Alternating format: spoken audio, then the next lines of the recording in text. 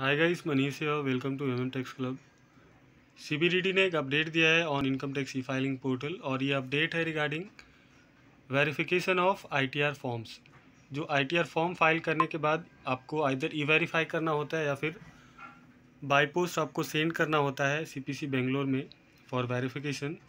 तो इसके regarding update आया है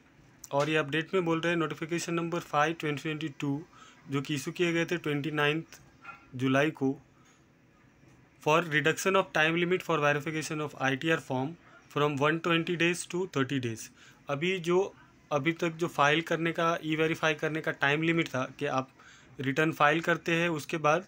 अब जो आई टी आर भी फॉर्म होता है, उसको within one twenty days either e verify कर सकते हैं और बाई पोस्ट उनको सेंड कर सकते कर सकते हैं। बट गवर्नमेंट ने ये जो टाइम लिमिट है वन ट्वेंटी डेज़ का for verification of I T R form उसको रिड्यूस कर दिया है टू थर्टी डेज़ अभी ये थर्टी डेज़ कभी से एप्लीकेबल है, वो हम डिटेल नोटिफिकेशन में देखते हैं। ये डिटेल नोटिफिकेशन है।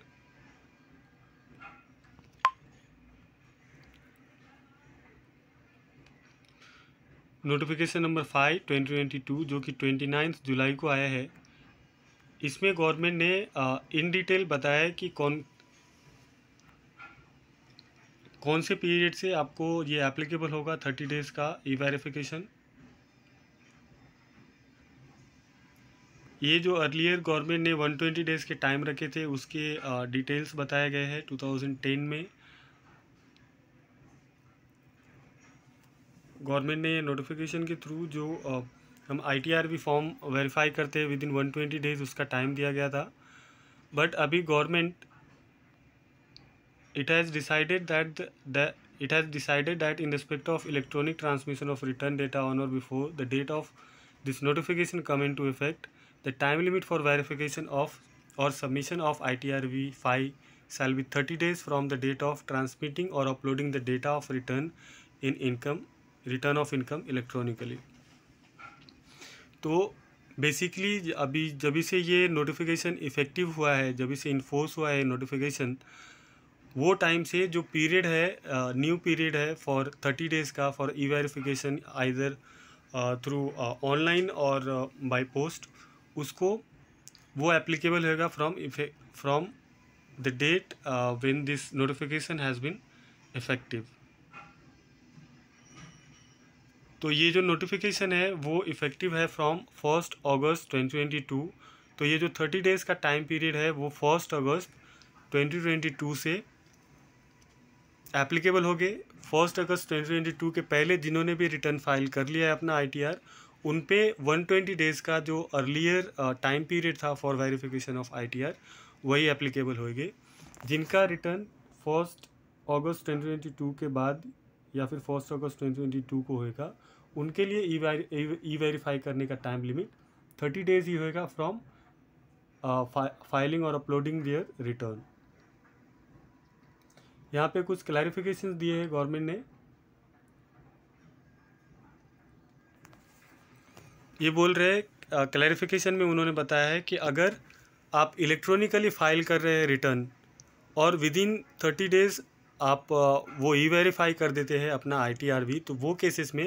जिस डेट में आपने अपना रिटर्न सबमिट किया है अपलोड किया है, वही डेट आपका रिटर्न सबमिशन का डेट माना जाएगा। बट ऑन अदर हैंड अगर आप रिटर्न फ़ाइल अपलोड करने के बाद बियॉन्ड थर्टी डेज़ आप जो आई टी फॉर्म है, वो सबमिट करते हैं फॉर वेरिफिकेशन तो वो केसेस में जो आप, आपका सबमिशन डेट है I T form submission date है, या फिर ई वेरिफिकेशन करने का डेट है बियॉन्ड थर्टी डेज़ वो डेट कंसीडर किए जाएँगे as a filing date of I T R और जो भी लेट फाइलिंग के कंसिक्वेंसेस होंगे वो आपको एप्लीकेबल होगा जो ई वेरीफाई नहीं करते फॉर्म को बाई पोस्ट सेंड करते हैं, उनके लिए गवर्नमेंट ने ये नोटिफिकेशन में एड्रेस भी दिया हुआ है। तो बाई पोस्ट स्पीड पोस्ट के थ्रू उनको सेंड करना होता है acknowledgement to the centralised processing centre income tax department Bengaluru five six zero five hundred Karnataka तो ये एड्रेस पे उनको विद इन थर्टी डेज़ अभी अपना आईटीआर सेंड करना पड़ेगा फॉर वेरिफिकेशन पर्पस और ये एप्लीकेबल है, ये जो रिडक्शन ऑफ़ टाइम लिमिट है फॉर वेरिफिकेशन ऑफ़ आईटीआर वो एप्लीकेबल है फ्रॉम फ़र्स्ट अगस्त ट्वेंटी ट्वेंटी टू फॉगस्ट फ़र्स्ट अगस्त ट्वेंटी ट्वेंटी टू के पहले जिन्होंने रिटर्न फ़ाइल कर लिया है, उनके लिए वो अर्लियर वन ट्वेंटी डेज़ का टाइम लिमिट ही एप्लीकेबल होगा। तो ये थे अपडेट सी के। So thank you for your time share this video subscribe my channel